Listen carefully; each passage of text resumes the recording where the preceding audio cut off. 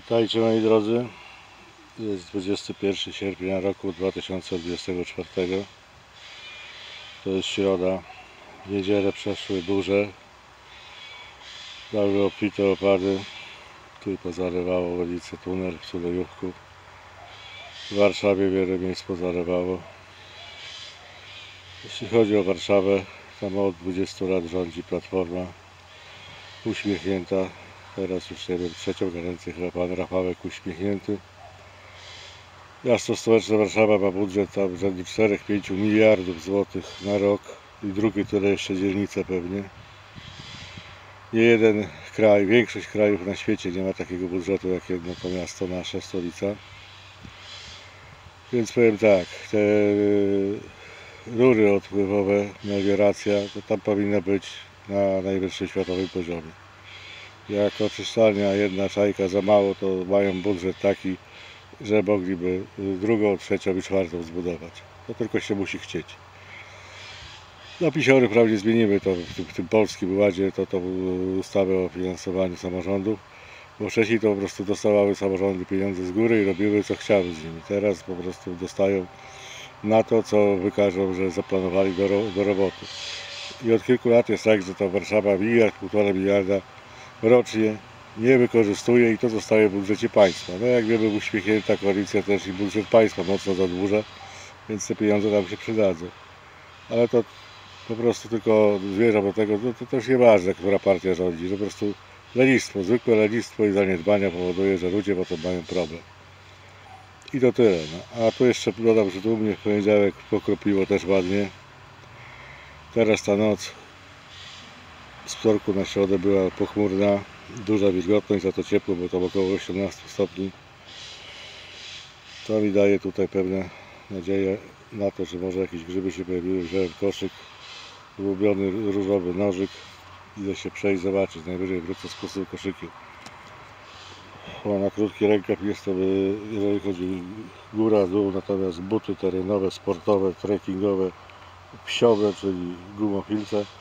Po gumowicach muszę powiedzieć, że kiedyś to, to były bardzo ciężkie. Teraz jakieś takie leciutkie gumy to robią, że aż przyjemnie się mi chodzi. Się w ogóle nie czuję, że się chodzi w gumofilcach. No i dresy na, na nogach, bo dlatego tak się ubrałem, bo jest dalej mokro. Mok, mokro jest, trawa mokra, równo leśne mokre. Nie ma sensu tam chodzić prawie boso, czy tam w adidaskach, bo to się zaraz umoczy i, i się chodzi z przemoczonymi nogami. No zobaczymy, to przejdę tam parę miejsc, zobaczę. Przez kilka tygodni była taka susza, że może i nic nie urosło. Ale jeśli to, to po, po takich opadach się nic nie pokaże, to będzie źle. Trzeba iść i to trzeba sprawdzić. I z tą myślą ruszam do lasu. Kumpel, pies mój Reksio nie idzie, bo jest chuligan i na starość się zrobił nie, nieposłuszny i niereformowalny i ucieka mi z tych spacerów i potem wraca dopiero nad ranem poobijany, poszarpany i podrapany. A ja nie zamierzam się zastanawiać, co on tam zrobił, gdzie, gdzie poszedł i tak dalej. Nie jest mądry i nie będzie ze mną chodził. Jest kara, jest zbrodnią, musi być kara. I tyle, ruszam dalej. No moi drodzy, jeden zagajnik obszedłem, nic, nic, totalnie nic, tylko tyle, że się fajnie chodzi. Bo nie ma upału, jest 20 te parę stopni. Fajne takie rzeźkie, wilgotne powietrze. Ale nie ma, nie ma żadnych grzybów, nawet psiaka. Także chyba zbyt optymistycznie zrobiłem biorąc ten koszyk. Ale kto mi zabroni chodzić z koszykiem i z nożykiem w nim. Połażę sobie jeszcze. Zobaczę jeszcze kilka miejsc. Jestem w drugim zagajniku. No. Też, też jak grzyby są, to zawsze są. Ale nie ma, nie ma nic. Ani muchoworka, ani gołąbka. Nic, nic totalnie. Nawet tego skórów nie ma, które były tam 2-3 tygodnie temu. No może to za szybko. Może dzień czy dwa od deszczu to za szybko. Może potrzebują te grzyby 3, 4, 5 dni. Zobaczymy. Dziś połażę jak nic nie będzie, to jeszcze za parę dni też muszę przyjść i sprawdzić, czy coś rośnie, czy, czy nadal nie rośnie. No ale grunt tu jest tak był wyschnięty, także i te dwudniowe opady to tam nie zaspokoiły całych potrzeb hydrologicznych. No, a tutaj to, tą, tą ściółkę to równo podlały. Także te grzyby nie powinny dostać zapas wody i powinny już ruszyć. Tak uważam osobiście. Ale jak jest, to pokaże sytuacja w terenie. Ruszam więc dalej. Trzeci zagajnik. W zasadzie takie pole z pozostawionymi brzuskami, bo tu właściciel wytrzebił wszystko prawie, poz- pozostawił tak w miarę równomiernie, jakby w rzędach trochę brzus. To jest super miejsce, to jest super miejsce, tu jest dużo grzybów, jak, jak oczywiście jak rosną. I tu się super zbiera, bo się chodzi jak w parku spokojnie, lejtowo, bezstresowo, jak są grzyby, to po prostu się chodzi i się podnosi i zbiera. Ani się tu nie można przewrócić, ani podrapać. No ale dziś, dziś nic, nic tu też nie ma. Oczywiście tu się rozejrzę jeszcze, idę dalej, mam tam dwa czy trzy miejsca, które muszę odwiedzić, żeby definitywnie stwierdzić, że grzybów jeszcze nie ma. Ale to Wam pokazuję, bo tu, tutaj lubię przychodzić, bo tu jest takie grzybiarskie przedszkole, że tak powiem. Się powinno przeprowadzać ludzi, którzy nie potrafią szukać, rozpoznawać grzybów. Ja spokojnie tu. Oczywiście jak są grzyby, to najlepiej jesienią sobie spacerować, pokazywać, omawiać. Zresztą w zeszłym roku, w poprzednich latach dużo filmików z jakimiś ładnymi grzybami, które tam gatunkowo, osobniczo omawiałem, to właśnie tu były zbierane, pokazywane, bo to naprawdę fajnie się zbiera i tu jak są grzyby, to, to, to rosną no, takie do bardzo takich imponujących rozmiarów. I to, to każdego grzybiarza cieszy, jak pójdzie nie dość, że znajdzie sporo grzybów, to jeszcze takie te grzyby są duże, a przy okazji jeszcze zdrowe. No. I tutaj takie warunki są, żeby te grzyby rosły spore i były w miarę zdrowe. To taki, taki to dzisiaj spacer, taki to patrol podeszczowy w poszukiwaniu grzybów. Tylko grzybów nie ma. No ale to nic.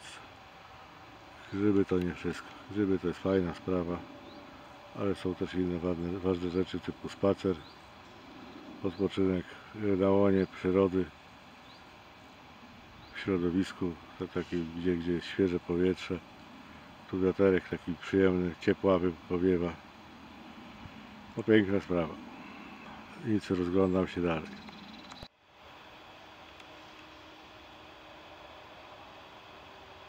Kolejne piękne miejsce. Tu się też super grzyby zbiera. Takie młodniki brzozowe i nie tylko.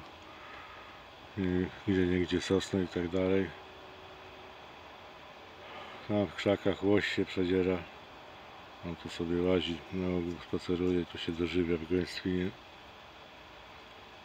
Ale nagrać go ciężko, bo tam wejść w te krzaki jest ciężko, on jest bardzo puchliwy. Kiedyś jak wcześniej się zorientuje, że on jest gdzieś blisko i jest w miarę rzadkim terenie, to się przyczaje i go nagram.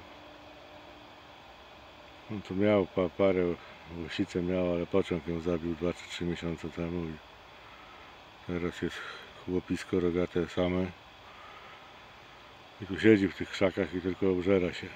No ale inni tu mówią, że już inne młode łosie też pojawiają się w okolicy. No może, może tej zimy się sobie znajdzie sobie jakąś nową parę. Dobrze by było. A niestety łoś to nie jest też jakieś mega inteligentne zwierzę i często biega czy to pod samochód, czy to pod pociąg. Z pociągiem nie miał szans. A jeśli chodzi o grzyby, to dalej nic nie ma, totalnie nic. No, za to takie można rzeczy znaleźć. Kilometr od najbliższego zabudowania, ale nasi tu byli. Widocznie niektórzy grzybiarze muszą na wspomaganiu chodzić i szukać grzybów i zostawiają buteleczki. Potem słońce przygrzeje, z butelki robi się soczewka, pożar lasu las płonie. I wszyscy mówią, jak to możliwe? No tak to możliwe, o, proszę bardzo. To jest potencjalne zarzebie ognia. Gdzieś tu wrzucę pod drzewo, żeby w cieniu była.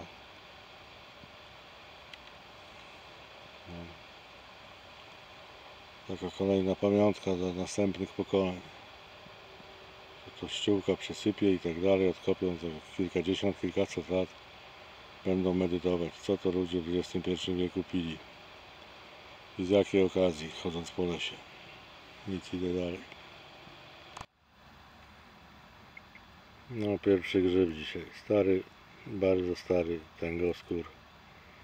Pospolity, teraz nazwany też tęgoskórem cytrynowym. Nie wiem czemu się komuś tam z cytryną skojarzył. Ten już ma taką dziurę na górze, czyli już wysypuje zarodniki. No tu właśnie czeka, żeby ktoś depnął na niego, czy to człowiek, czy zwierzę typu sarna, łoś. Wtedy wystrzeliwują te zarodniki i roznoszą się przynajmniej kilkadziesiąt centymetrów dalej. A jak zabierzemy na bucie, na, na nogawce, czy, czy na nodze zabierze kopycie zwierzę, to i dalej roznosi te grzyby. I tak ten system działa. Pierwszy grzyb, stary, już wyczerpany, tęgoskór, pospolity. Pokazuję, bo chyba więcej grzybów dzisiaj nie znajdę. Jest to bardzo mało prawdopodobne. Jeszcze zostały mi się ze dwa miejsca takie do sprawdzenia. Ale podejrzewam, że wynik jest już z góry wiadomy. I do domu wracam. Bo rozpoznanie pokazuje, że grzybów jeszcze nie ma. Chociaż deszcz ładnie popada i jest ciepło. Noc była też ciepła i wilgotna.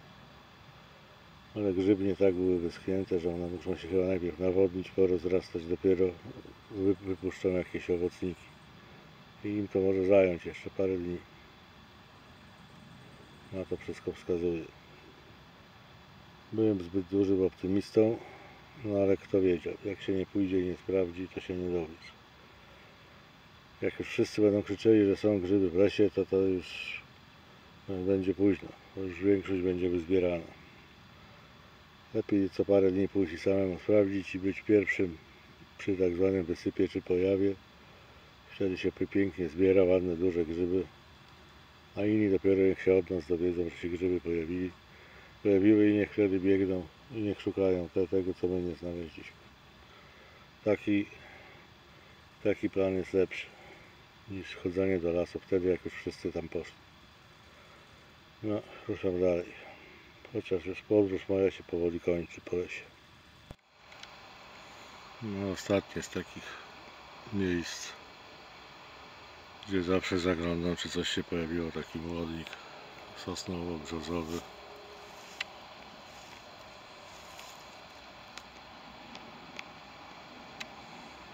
No pięknie, tu jest pięknie, tu się chodzi wszędzie. Są bobki, odchody łosia, czy on tutaj też sobie spaceruje i się dożywia. Ale grzybów jak nie było, tak nie ma. Także tu, tu się rozejrzę jak już nic nie znajdę, już nie będę nagrywał. Bo to szkoda czasu. Fajnie się połaziło. Z godzinkę połaziłem, pokręciłem się. Stary ten goskór obok był drugi, jeszcze nie pęknięty i to wszystko, jeśli chodzi w ogóle o grzyby. A nowych grzybów, zwłaszcza jadalnych, brak całkowicie. To musi, musi trochę potrwać, żeby coś urosło. Jest mokro, to ładnie popadało, coś się musi pokazać. Ale dzień czy dwa to za, za krótko. A być może ta ilość wody to też za mało na potrzeby grzybni i w ogóle lasu. Może jeszcze musi popadać. No tak mówiłem, że w sierpniu to ciężko będzie, żeby coś się pojawiło.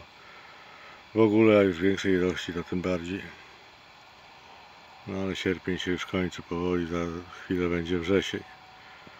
Wrzesień to już musi coś być, bo w październiku to są dożynki grzybowe. Bo w listopadzie to w wielu miejscach to już nie ma o czym mówić, bo tam już wtedy przymrozki są, czy śnieg nawet pada. Także ten sezon grzybowy nam się kurczy. Się został wrzesień i październik ewentualnie. Już pamiętam takie lata, że nic, nic nie było w październiku, jak sypnęło, to nadrobiły, nadrobiły te grzyby za cały sezon. Ale w zeszłym roku się nastawiałem, że może być podobnie. Coś tam raz pojawiło się w sierpniu, coś się pojawiło we wrześniu, więc liczyłem na październik, a w październiku prawie nic. No. Także to nie ma się co nastawiać, że to czy wrzesień, czy październik, tylko trzeba regularnie sprawdzać, czy grzyby się nie pojawiły, bo jak się pojawią, to trzeba zbierać raz, dwa. Bo to kilka dni jak są, potem poginią, poschną, rybaki zjedzą i po grzybach. A następne się mogą pojawić w danym roku albo i nie pojawić. To tyle. Dzięki za oglądanie. Pozdrawiam wszystkich. Trzymajcie się. Cześć.